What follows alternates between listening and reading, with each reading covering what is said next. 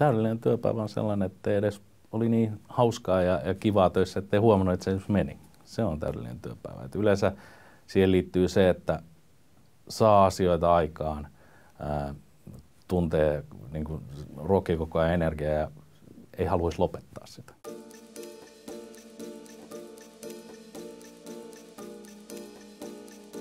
täydellinen työpäivä olisi, että mitä ajattelisin, niin kyllä siihen niin liittyy se, että aamulla olisi aika virkeä. Että se, niin kuin, kyllä, se, kyllä se lähtee siitä edellisestä hyvin nukutusta yöstä. Se ei tarkoita, että, että mihin aikaan herää, vaan sen, että miten on nukkunut. Ja siihen voisi liittyä vaikka aamulla käynti pilateksessa tai joku muu vastaava, koska itse olen huomannut sen, että, että se heräämisen aikataulu ei ole sun vireyteen liittyvä, vaan se, että miten sä sen heräämisen jälkeen, mitä teet. Siihen pitäisi kuulua vähän ulkoilua, pikkusen happea. Voisi ajatella, että se voisi olla käynti kauppatorilla kahvilla vaikka, ja siitä sitten niin kuin jatkaa se niin, että se, se menisi aika jouhevasti. Että sit, jos se on jo niin kuin aamulla valmiiksi sellainen, että, että siinä on niin kuin tunti, tunti, tunti, niin kyllä se on vähän stressaavaa. Kyllä niitä on monenlaisia hy- hyviä työpäiviä. Että tietysti sellainen, jossa jos tulee, tulee koska mä oon hyvin ideaorientoitunut, sellainen, jossa tulee mahtavia ideoita ja tunt, tulee semmoinen että nyt ollaan jonkun uuden suuren äärellä, vaikka se sitten seuraavana päivänä ei tuntuisikaan enää niin hyvältä.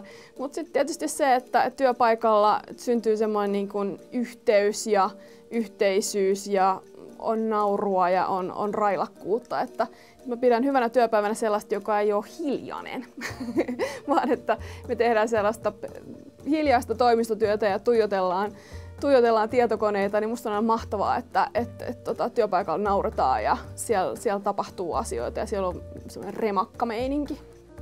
Täydellinen työpäivä koostuu äh, mua huomattavasti paljon älykkäämmistä alaisista kollegoista, sitten ylä- tai alapuolella organisaatiossa – se muodostuu haasteesta, jolle kaikki nauraskelee, että tämä on ihan mahdoton ratkaista. Ehdottomasti, jos, jos olisi tiimi, mutta jos haastetta, niin silloin olisi vaan niin kuin, paljon voimavaroja, mutta ei mitään tavoitetta. Sitten se muodostuu ehdottomasti siis kansainvälisyydestä, Ää, koska se ehkä liittyy mun omaan uraan, mutta muutenkin. Ja sitten se liittyy jatkuvasta, ihan jatkuvasta niin kuin niin kuin oppimisesta ja joku uuden asian löytämisestä. Että tota, niin kuin, joku on sanonut, että se on niin hengästyttävää oppimista, mutta on pakko oppia asioita. Se on musta täys, täydellinen työpäivä. No kyllä se kuitenkin on semmoinen, jossa on ollut tosi paljon säpinää ja ikään kuin paljon työtä. Ja ehkä sitten joku semmoinen, myös semmoinen niin kuin sopiva sähläyshetki, jossa vähän niin kuin kaikki huutaa, että se ei ole menossa kovin hyvään suuntaan. Ja sitten se tietenkin ratkeaa, koska asiat vaan aina ratkeaa. Et ehkä just se, jotenkin se tunne, että, että me saatiin yhdessä jotakin aikaan ja vieläpä niin, että me yhdessä vaiheessa ajateltiin, että tästä ei, nyt, nyt ei mene hyvin.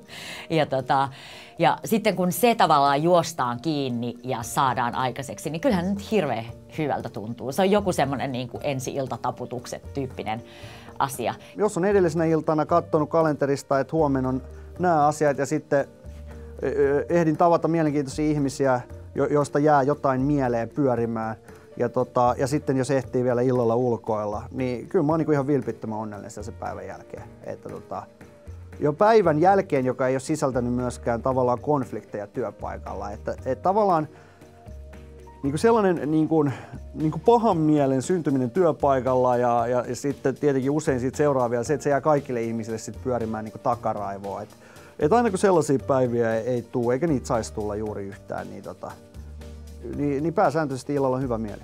No täydellinen työpäivä on se semmoinen, että mä ehdin ää, valmistautua ää, tapaamisiin, että mä olen hyvin informoitu, mulla on ää, hyvät edellytykset tehdä oikeita päätöksiä, mä pystyn delegoimaan se, minkä mä voin delegoida – mikromanageeraus on suuri synti tässä. Meillä on hirveän paljon hyviä asiantuntijoita talossa, jotka osaavat hommansa.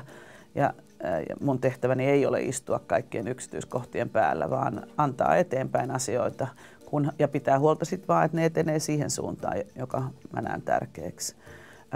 Ja sitten ää, hyvään päivään kuuluu myöskin se, että mä voin olla hands on siinä itse tilanteessa, että mä saan seurata ja olla mukana vielä siinä taiteellisessa prosessissa, nähdä, että ihmiset ovat motivoituneita ja kehittyvät ja saavat aikaan korkeatasoista lopputulosta. Ja, ja sitten ehkä päivän päätteeksi on mukava voida irtautua sit siitä ja viettää aikaa perheen kanssa ja, ja niin kuin kokea, että tänään mä tein parhaani ja tänään mä sain hyviä asioita aikaa ja meidän organisaatio voi hyvin.